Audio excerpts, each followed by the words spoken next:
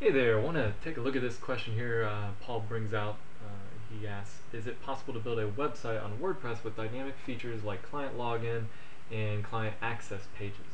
Uh, I'm going to show you a few things that I've done to accomplish this.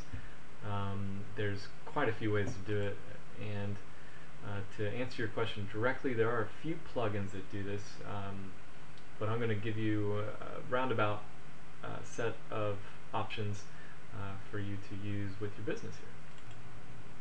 So first off, I'll show you what I've done um, here with uh, the back. This is actually an employee portal that I built for uh, members of the design team. So basically, what they do is they log in with their design email, and I actually use Google Apps, um, which you know if you go to Google Apps, read about it, they have tons and tons of, of great uh, user-friendly uh, apps that integrate with your domain.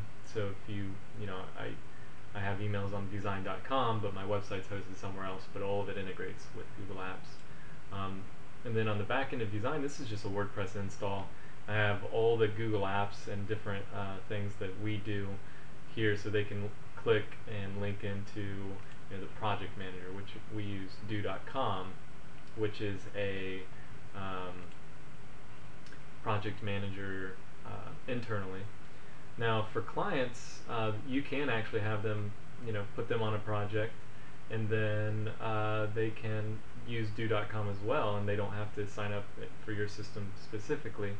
Um, but this is a pretty basic project manager. You create tasks and projects and things like that. Um, so that's what I've done with my business. There's a couple different options too that you could look into.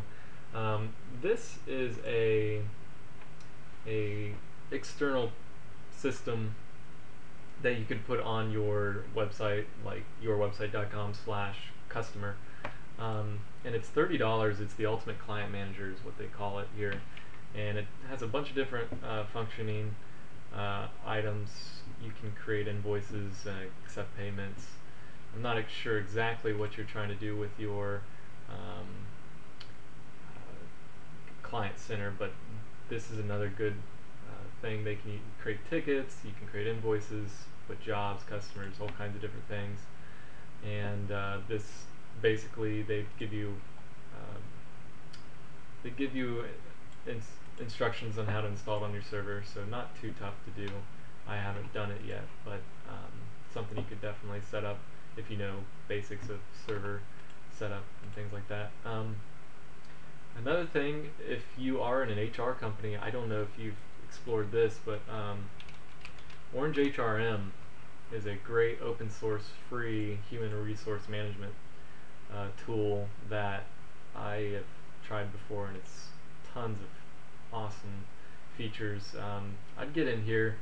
Uh, this wouldn't necessarily, you could use this for your clients. I don't know uh, what exactly you're using for their, you mentioned your provide HR services. So that could be an open source alternative that you can load on your site as well and provide as a service. So uh, you got a lot of options out there. I'll put the um, links to these different um, plugins and things within within the post here and hope that helps answer your question. If you have any more, feel free to leave them in the comments section.